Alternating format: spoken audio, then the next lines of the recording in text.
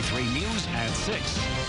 We needed a donut shop here, and I'm a sweet lady, so I wanted to bring sweet stuff to the community. A Central Illinois donut shop recently ranked in the top 25 across the country. Revival City Donuts in Charleston was the only spot Illinois to make the list. WCIA3's Bradley Swink traveled to Charleston to see what makes these sweet treats so good. So Bradley, can you tell us anything about their secret ingredients?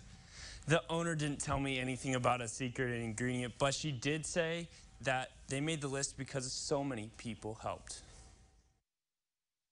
I appreciate the fact that the local community and the region have embraced the Revival City Donuts. Marshall McCoy started Revival City Donuts to bring a local donut spot to Charleston. Coming up on two years of serving the delicious treat, they were recently ranked as one of the best shops in the country.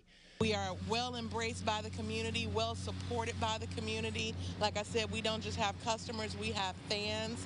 And so you put all of those things together and it's a recipe for success. We're just going forward, going onward, and we're enjoying the ride.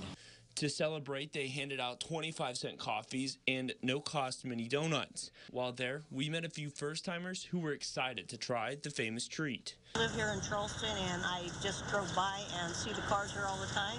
Jennifer Calloway heard from friends and family Revival City was a hot spot for donuts. So when she came to visit, she made it a point to stop by and try it.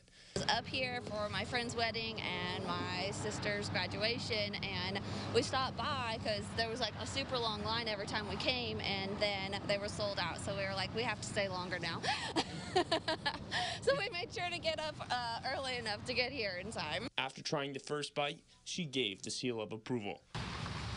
What are your initial thoughts? oh that's good